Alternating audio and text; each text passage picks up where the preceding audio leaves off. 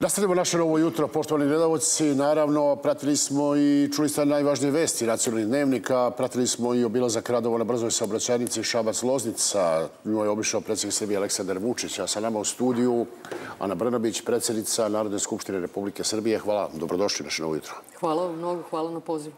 Da, videli smo mnogobrojne, pa ne mnogobrojne, ali ajde kažem iz tog jednog kruga političkog napada na Vučića da što obilazi građane Podrinja, što s njima razgovara. Sad Maltene žele da mu zabrane da razgovara sa narodom koji ga je birao. A druga stvar, sve češće čujemo priče lajka o tome kako će cela Srbija biti zatrovana i voda, naročito.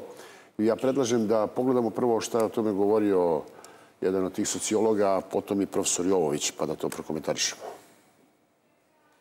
Veliki je rizik da se vode na različitim nivoima podzemne, različitog kvaliteta, spoje. A onda ako se zahvati drina, neće biti pijaće vode ni za koga, računajući i Beograd. Ako vi ogromnu količinu vode koja je potrebna za rudarenje litijuma iskoristite zato, vi ćete imati pustinju Da li mi želimo da Srbiju pretvorimo u jednu pustinju? To vam je kao da skačete sa petog sprata i nadate se da ćete preživeti. Dakle, možda ćete preživeti. Postoji jedna mala, mali procenat verovatnoće da ćete preživeti.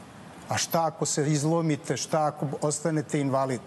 A to je mnogo veća verovatnoća. To je nagon za samodržanje. Nas neće biti podzemne vode koje se slivaju u rudnik tokom rudarenja moraju da se izvadi, znači bi se, što kaže, udavili svi u tom rudniku. Ta količina vode, ta voda prečišćena, zajedno sa kišnicom, činit će najveći deo voda za fabriku. Kada nedostaje vode, znači kada nema dovoljno vode, povuće se vodra, voda iz drine. U maksimalnim količinama, znači u maksimalnim količinama to predstavlja 0,207% proticaja drine. Znači, 0, 2 nule, 7%, apsolutno zanemarljivo. Znači, ne, neće primetiti niko da ta voda fali. Evo, gospođo Brnović, imamo što kaže predsjednik Vučić, neko s polja je naredio zastrašivanje građana, a, laicizam i struku. I da. sad, ali i opasan laicizam. Da, teške su ovo stvari. E, teško je boriti se protiv ovakvih dezinformacija, posebno kada znate da Šolakovi mediji, tajkunski mediji, e, plasiraju u proseku, i to samo ako analizirate jedan N1, e, u proseku 10 priloga e, od kojih je 90% negativno, dakle lažne vesti, dezinformacije, širenje panike, kao što je ovaj prilog, 10 priloga dnevno. Na to, na to niko ne može da odgovori. Na to baš niko ne može da odgovori ja ne verujem, dakle, bilo bi potpuno budalasto pomisliti da je to da se to slučajno dešava. Dakle, neko iz nekog razloga širi namerno, dakle sa namerom, predumišljajem širi paniku u Srbiji. Ono što je neverovatno ovde, kada, kada pogledamo ova dva priloga ovako, posebno je važno istaći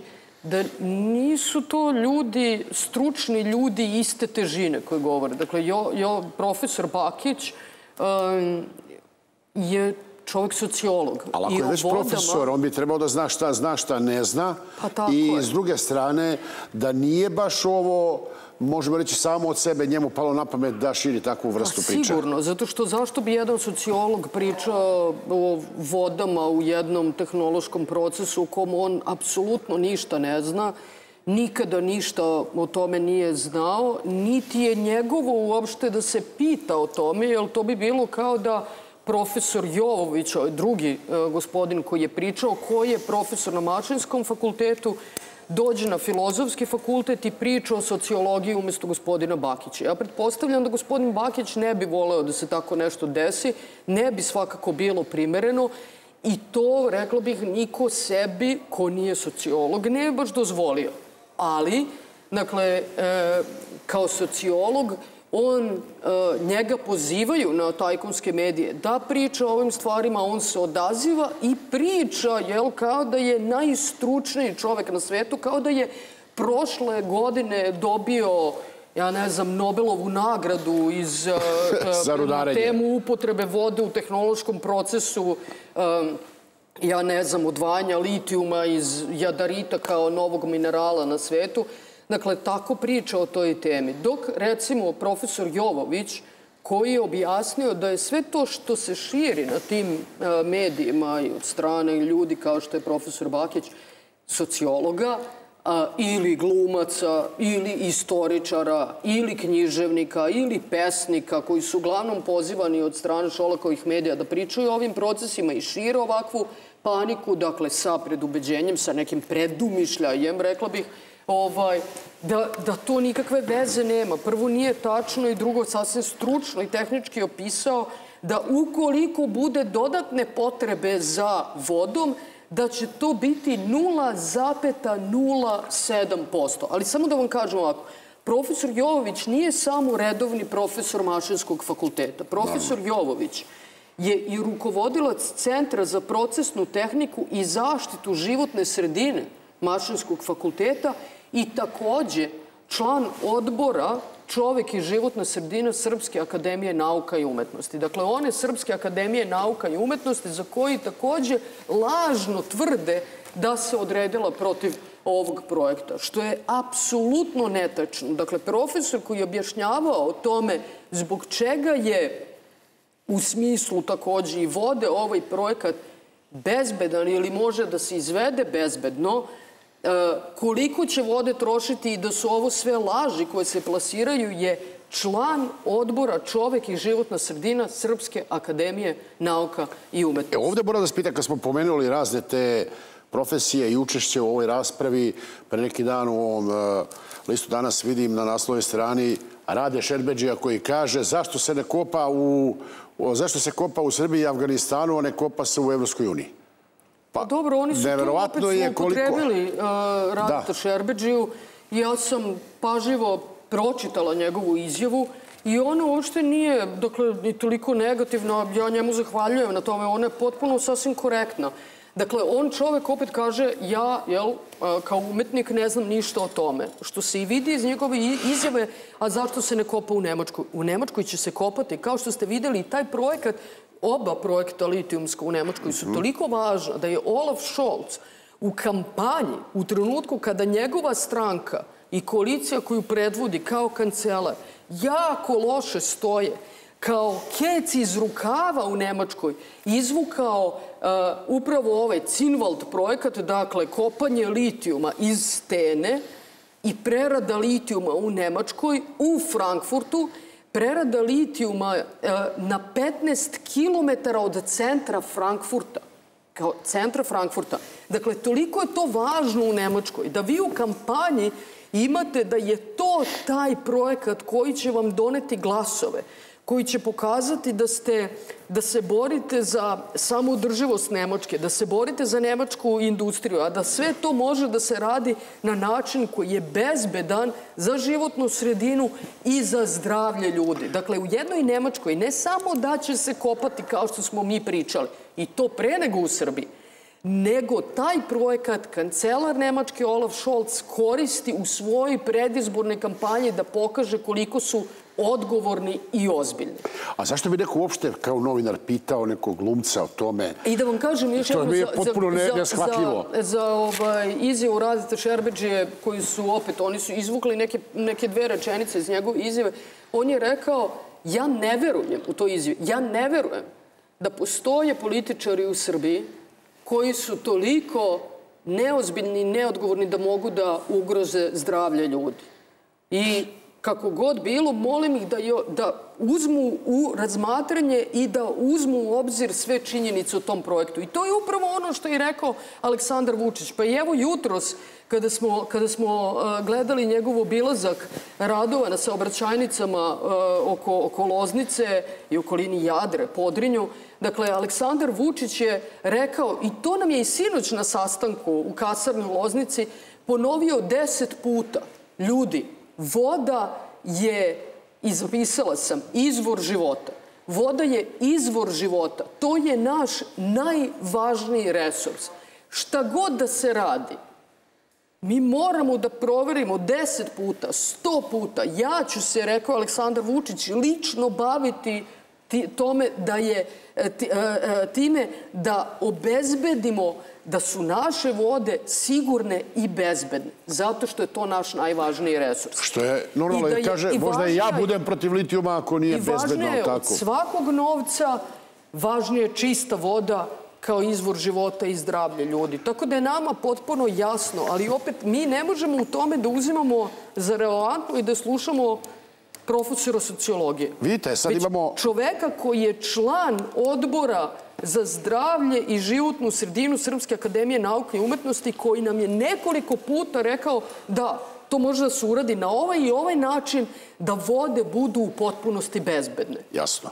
Imamo milion... To, to, to su stvari koje su važne. Da. Imamo milion ekoloških nevladinih organizacija. Više ne znamo koja, koja je koja i koja je za šta. S druge strane imamo raznu vrstu zloupotreba priča oko ovog i u odnosu na tu zloupotrebu majskih tragedija prošlogodišnjih, sad imamo novu vrstu zloupotrebe kao što tamo niko nema monopol na bol, ovde niko ovde oni sebi daju monopol na ljubav prema čistoj životnoj sredini, a mi kao ostali ne volimo čistu životnu sredinu. Kako to možemo razumeti uopšte?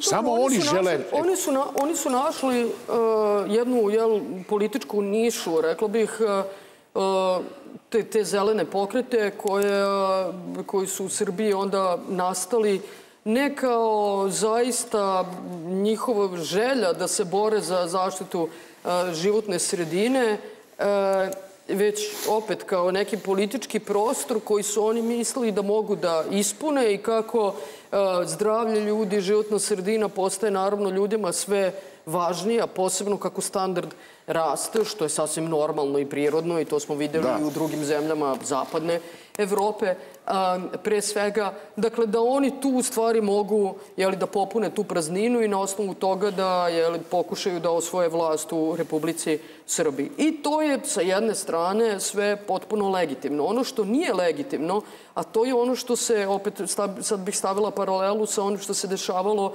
u borbi i pokretu, takozvanom pokretu Srbija protiv nasilja. A to je da vi delite ljude kao da je, jel, neko je protiv nasilja, a neko je valjda za nasilje. Jeste. Oni su protiv nasilja, a mi svi ostali smo valjda za nasilje. A ovdje je neko oni protiv zagađenja, za, a neko da. je za zagađenje. Valjda oni, Šta je ovo? Oni, njima je stalo do životne sredine, a nama valjda nije stalo do životne sredine. Ali ono što je ovde posebno licemerno je to što smo se mi iz Srpske napredne stranke na čelu sa predsednikom Aleksandrom Vučićem i, pre, kao čl, i predsednikom Srpske napredne stranke i danas Srpska napredna stranka sa, sa svojim novim predsednikom Milošem Vučevićem i Aleksandrom Vučićem kao, kao članom Srpske napredne stranke, mi smo se borili za tu životnu sredinu. U trenucima kada nije postojao ni jedan ekološki pokret u Srbiji. Dakle, 2014. godine, ako razmislite, nije postojao ni jedan ekološki nije. pokret u Srbiji. Nije postojala ni jedna zelena stranka u Srbiji. Ali 2014. godine vlada Republike Srbije koju vodio Aleksandar Vučić počela da gradi filtere za odsumporavanje na našim termoelektranama kako bi naš vazduh bio čisti. Ne zato što je neko protestovao, ne zato što je neko tražio, jer niti je ko protestovao, niti je ko razmišljao i razgovarao o čistom vazduhu, nego zato što smo mi opet bili dovoljno odgovorni i ozbiljni da kažemo zdravlje ljudi je nama važno. A za zdravlje ljudi je potreban čist vazduh. Hajde, bez obzira na fiskalnu konsolidaciju koju smo u tom trenutku implementirali, odnosno Aleksandar Vučić, da budem iskrena, ajde da uložimo u filtere za odsumporavanje. I mi smo od tada do danas uložili u Srbiji preko 600 miliona evra samo u filtere za odsumporavanje. Nije malo. Dakle, vi ne možete da kažete Srpskoj naprednoj stranci nije važan čist vazduh. Pa čekajte, Srpska napredna stranka je to krenula da radi. Pre Srpske napredne stranke to se nije radilo. Paralelno sa tim, 2014. godine je donesen prvi zakon o energetici koji uopšte tretirao obnovljive izvore energije. Dakle, zelene kilovate. Dakle, vi možete činjenično dokažete da ste vi ti koji su pre 10 godina razmišljali o čistom vazduhu i zelenoj tranziciji.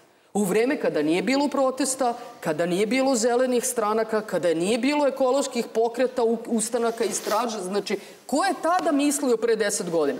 Pa Aleksandar Vučić i Srpska napredna stranka. To je prvi zakon koji ikada u Srbiji tretirao obnovljive izvore energije. Mogli su da ga donesu i Demokratska stranka, i Boris Tadić, i vlada Mirka Cvetkovića, i vlada Vojslava Koštunice, ali nisu. Ali doneli su zakon o monopolu Rio Tinta. Ali nisu zato što ih je baš bilo briga za čist vazduh. Ali jesu doneli zakon 2006. i 2011 koji je rekao onaj ko ima istražna prava, a istražna prava su dali Rio Tintu, jedini može da aplicira za pravo na eksploataciju. Što kaže... Mi smo do tada kao zemlja zakonom iz 1995. godine imali zakon koji kaže ok, daš nekom istražna prava, taj istražuje, potvrdi rezerve, kada dođe vreme da država želi da da eksploatacijono pravo, država raspiše tender, aukciju i pogleda ko da više.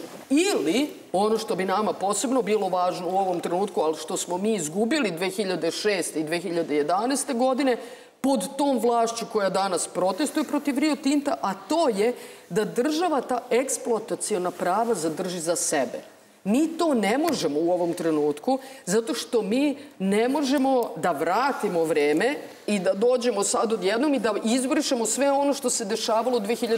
2006. i 2011. E, oni su tada 2006. 2011. usvojili jedan suštinski antievropski zakon. Uh, u suštini Oni su formatirali model monopolisanja, a s druge strane danas napadaju i Evropsku uniju i investitore i go, isti ti koji su usvojili takav zakon, eto, napadaju Evropsku uniju. Ali kada pričamo recimo o vodama, da. e, važno je napomenuti da i ta, ta te vlade koje sam ja vodila kao predsjednica vlade, e, u kojima smo mi jel, osnovali Ministarstvo zaštite životne sredine koje na kraju krajeva nije postojalo u njihovim e, vladama. Dakle, i kada je postojalo Ministarstvo zaštite životne sredine, da vam kažem sada bizarnost, jel, te njihove vlade, demokratske stranke i danas o tome ne priča ni Lutovac, ni Srđan Milivojević, ne priča ni Dragan Đilas, ni Borko Stefanović, ni Marinika Tepić koji su tada bili u toj vlasti. Njihovo ministarstvo zaštitu životne sredine je bilo ministarstvo koje je bilo objedinjeno sa ministarstvom rudarstva. Da. Tako da ste vi imali ministarstvo rudarstva i zaštite životne sredine. Veoma... Toliko je bila životna sredina važna a nama nešto spočitavaju. Dakle, mi imamo Ministarstvo životne sredine koje se komitovalo i različitim planovima da mi u našem mandatu uložimo 3 milijarde evra samo u naše vode, u zaštitu voda u Srbiji. 3 milijarde evra u postrojenja za prečišćavanje otpadnih voda, izgradnju kanalizacijonih mreža koje će jeli, sve otpadne vode prikupljati, voditi u postrojenja za prečišćavanje otpadnih voda kako bi mi štitili naše reke. Ali priča... Zašto bi neko, samo Sara pa da završim, zašto bi neko ko je toliko radio na zaštiti naših voda, koji je rekao uložit ćemo 3 milijarde evra u zaštitu naših voda, samo kroz izgradnju kanalizacijonih mreža, i izgradnju postrojenja za prečišćavanje otpadnih voda. Zašto bi taj rekao, e dobro, pustit ću Rio Tinto ili bilo kog drugog da divlja i da nam zagadi naše vode? To baš nikakvog smisla nema. Dakle, mi, hoću da kažem, ne možete nam spočitavati da mi ne brinemo o životnoj sredini samo zato što se ne zovemo Srpska zelena stranka, nego se zovemo Srpska napredna stranka. Dakle, ne znači da ste vi zeleni zato što ste vama dali uh, epitet zelen. Mi smo pokazali da se brinemo o Srbiji i da, se, da je briga o Srbiji takođe uključuje po prvi put i brigu o zaštitu životne sredine. Evo da pitam još jednu stvar. Ko je prvi u Republiku Srbiju zarad zaštite kvaliteta vazduha uveo je električne autobuse u gradski saobraćaj? Srpska napredna stranka 2016. godine. Pa nismo ih uvodili zato što su lepi. I nismo se time hvalili zato što smo, evo, mi smo zeleni. Nego zato što je to prirodno kada vodite odgovornu politiku i brinete se o zdravlju građana.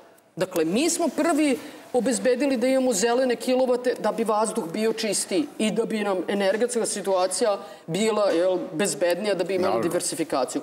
Mi smo prvi krenuli da gradimo filtere za odsumporavanje na našim termoelektranama. Mi smo prvi uveli zelene autobuse. Pa čekajte ljudi, kako onda? Mi smo komitovali 3 milijarde evra za očuvanje naših voda za izgradnju postrojenja za prečišćavanje i kanalizacijone mreže. Pa čekajte, ljudi, kako ste onda vi zeleni, a mi nismo? Kako? Na koji način? A to je način? samo jedan, jedna od tačaka širenja lažnih vesti i zastrašivanja građana. Pogledajmo mi šta se dešava i na polju, možemo reći, školstva i početka školske godine, govori se o čitankama, pogledajmo prilog, pa molio bih vas i to da prokomentarišemo. Nevjerovatno je kakve smo reakcije čuli i šta smo da. sve imali priliku da čujemo i vidimo. Evo, pogledajmo taj prilog. Prema zakonu, nacionalna čitanka imaće ulogu u razvijenju nacionalnog identiteta, pripadnosti državi, kao i poštovanje i očuvanje srpskog jezika, tradicije i kulture. Kako deca koje tek uče da napišu slovo A mogu da se upoznaju sa filozofskim konceptom nacionalnog bića? Ne znam koji je, koji je to način da vi detetu od 6, 7, 8 godina uh, uopšte uh, objasnite koncept nacionalnog identiteta, osim da to zaista bude jedna vrsta uh, indoktrinacije ili upravo to, dresure za uh, uh, uh, to kako se postaje Srbin. Temelj je počeo da se gradi, ali ne pisanjem pojedinačnih učbenika, već se rodilo nešto što se zove nacionalna čitanka. Ona će, po mišljenju istoričara, voditi samo gajenju osvetničke kulture u Srbiji zbog frustracije izazvanih ratovima 90-ih. Srpskom nacionalnom identitetu nije potrebna odbrana ni od koga, osim onih koji žele da ga svedu na puko parolašenje. Evo, čuli smo. Kada deca treba da steknu identitet, nije niko rekao. Napad na identitet. Zašto deca treba da imaju identitet, pripadnost, i socijalizacija i identitet su nešto osnovno. To se stiče od najradijih, najmlađih, najra, najranijih dana, je li tako? Ja sam šokirana, ja ovo nisam ovo... videla, ovo je, ali sam šokirana da neko može da priča ovakve stvari i ovo me dosta podsjeća da budem sasvim iskrena na, na ono komunističko doba u, u, u vreme bivše Jugoslavije ovaj, ko, ja ne, mislim, nemam nešto pretarano ništa protiv toga, ali me podsjeća na to, opet ja dolazim iz porodice, obojice, deda, kako se kaže, su bili partizani, ali se sećam, opet dolazim iz možda, jel, uh, multinacionalne porodice u smislu da mi je, da mi je deda po ocu bio Hrvat. ono što je mene recimo zanim, zapanjalo tada, sećam se i pričala sam sa mojim bratom dosta o tome, kada smo mi bili mali, uh, kada bi otišli leti u Hrvatsku, provodili smo po dva i po meseca u Hrvatskoj, U Hrvatskoj su svi znali da su Hrvati. Svi su imali identitet, da. Ali u Srbiji niko nije znao baš da ste Srbi. to je čudno, da. I nikad nismo o tome pričali. I ovaj, u Hrvatskoj bi vas pitali da li ste vi Srbi ili Hrvati. Mene niko nikad, u Hrvatskoj, dok smo da, bili deca, su pitali da li ste vi Srbi ili Hrvati. A, a mene niko nikad u Srbiji, recimo, nije pitao jesi ti Srpkinja ili Hrvatica.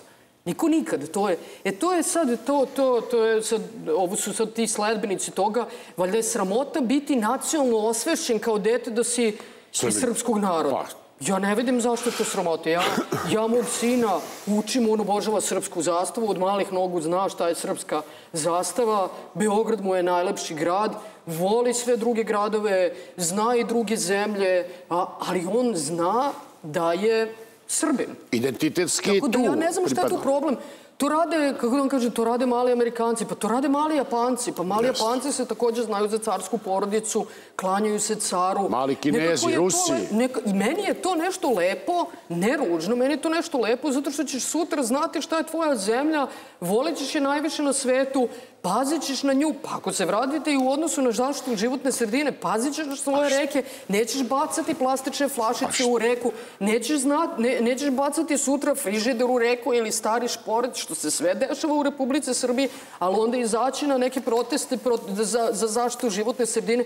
Dakle, nekako formira se neka ljubav prema zemlji i prema svom narodu i naciji koja je na prvom mestu pozitivna, a što ne znači mržnja prema nekom drugom. I ja sam pos, po, ponosna što ćemo mi imati konačno te nacionalne čitanke. Zašto one kasne? Pa zato što upravo je bilo potrebno mnogo promišljanja kako mi to da uradimo. Pa da li je to potrebno za svaki predmet? Pa da li je potrebno za opet ono od prvog razreda pa drugi razred, treći razred i opet se na, napravio neki koncept i s, u saradnji sa stručnim ljudima, sa stručnim ljudima koji su rekli pa u stvari ta nacionalna čitanka bi bio jedan najbolji koncept. Što ja bi, kad sam, kad sam videla taj koncept, ja mislim da je svako od nas će želeti da ima tu nacionalnu čitanku i kada ste e, odrasli, da bi se uvek podsjetio tih nekih stvari koje su izuzetno važne. Ali šta je ideja da ovakvih priloga? Pa da deca budu da ništa nemamo, i da pa se ne. opredele u 70. godini za svoj identitet? To je ta ideja, da mi nemamo identitet da mi budemo neka amorfna masa koju ne povezuje ništa osim da živimo na jednom geografskom prostoru. Što nema ni jedna, što, što, što zaista ne postoji kao koncept ni u bilo kojoj drugoj zemlji. Dakle, mali Austrijanci se uče da su mali Austrijanci, mali Nemci se uče da su mali Nemci, mali Japanci se uče da su mali Japanci i da vole Japan na prvo mesto i više od svega. I to, i taj čovek koji ovo priča, ne znam ko je, kad ode u Japan, kaže vidi kako je ovo predivno i kako je lepo i uči se odmah japanskoj kulturi i eto kako bi to bilo super da u Srbiji. Ali kad treba da bude u Srbiji, onda je tu katastrofa da bude u Srbiji, zato što se to odmah vezuje sa nekom negativnom konotacijom. A što ne kaže malim Japancima, niste vi Japanci. Pošto zaista tako. nisam videla ovo, mene na prvu loptu asocira na to vreme bivše Jugoslavije u kojoj je svako znao šta je, osim Srba koji su trebali da ćute i nekako su učeni da jel, ti ne smeš da kažeš da si iz Srbije da. i srpskog roda. Jel? I ta, tako da je to bilo ta... Ja znam, opet, dakle, zato što ja sam iz porodice koja je, jel, opet jednim delom iz Hrvatske, čime se ja takođe ponosim, dakle ja se toga ne stidim, ponosim se time, ja volim a, i, i, i Krk i moju staru Bašku i odakle mi je deda, imam tamo mnogo prijatelja, imam mnogo prijatelja u Zagrebu, ali ja ne vidim da to što ćemo mi imati nacionalne čitanke i što ćemo učiti da je, da, da, da je Srbija da. nama prva u srcu i da smo Srbi bilo kako protiv bilo kog drugog. Dakle, ovo je neki koncept koji je zaista sramotan, Teško. I ne znam kada ćete tačno da učite decu ako ne u tim godinama, valjda kad napune 18 godina. Kad bi krenu u školu sa 30.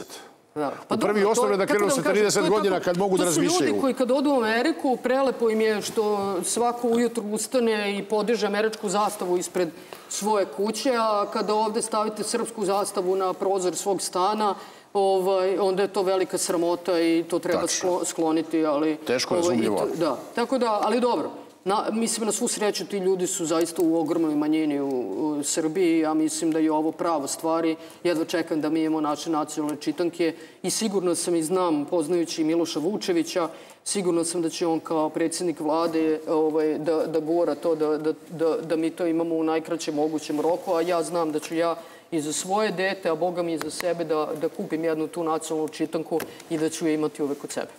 Lepo ste ovo rekli i na kraju, evo, minut, dva do kraja našeg razgovora da prokomentarišemo.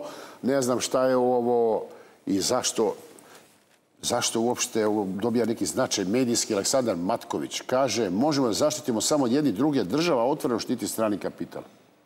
To je neki pokret za zaštitu Srbije. Sve nešto, ekološke straže, Država, ekološki ustanci, zaštita sasvim Srbije. Sasvim suprotno, sasvim suprotno. I, ovaj, I vidite vi koliko su to paušalne, paušalne informacije, paušalne To se lupi, Znate, kaže, iskupavanje litijuma, kršenje ustavnog poredka. Pa Znate, ja mislim da smo mi promenili, sećam se opet, sve promenili mi. Ja sam ušla u politiku na poziv Aleksandra Vučića 2016. godine ali, ali sam pratila opet iz pri, privrede e, i ovako, jer uvek mi je bila Srbija na prvom mestu šta se sve dešavalo i dok sam živala u inostranstvu znala sam uvek da ću se vratiti u Srbiju i da ću pokušavati da pomognem nekako svoju zemlju u koju sam uvek verovala a koja je u vreme te vlasti propadala ubrzano, nažalost. Pre svega zato što ta vlast, ovo današnja opozicija, nije verovala u Srbiju i naše ljude. Da, da je verovala, uložila bi više u ljude. A u ljude se ulože i tako što gradite puteve i što gradite autoputeve i što gradite naučno-tehnološke parkove koje nisu gradili zato što valjda nisu mislili da naši mladi ljudi imaju šta da doprinesu. Ali, e, znate šta, 2015. godine, opet činjenično govorim, a ne paušalno, mm. tako pa da... 2015. godine je promenjen zakon o ulaganjima kako bi se izjednačilo strani i domaći investitori. Do tada, do 2015. godine, po tom bivšom vlašću, strani investitori su bili mnogo povlašćeniji u odnosu na domaći. Pa ni da. tad nisu uspevali da ih dovedu, opet zato što je korupcija bila takva i bila je izuzetno neefikasna javna uprava i javna administracija po izdavanju građevinskih dozvola, što je naravno važno za strane investitore. Mi smo bili na svetskoj list, na listi Svetske banke pretposlednji na svetu. Dakle, od 192 zemlje, mislim tada 191. Tako da Sad nismo ni mogli, ali su bili povlačeni strani investitori po tome po davanju subvencija. Onda je Aleksandar Vučić kao predsednik vlade 2015. godine naredio Ministarstvu privrede, sećam se tada je ministar privrede bio Željko Sertić, naredio mi je da promeni zakon o investicijama kako bi izjednačio naše strane i domaće investitore, kako bi naši domaći investitori imali sve jednake uslove kao i strani investitori.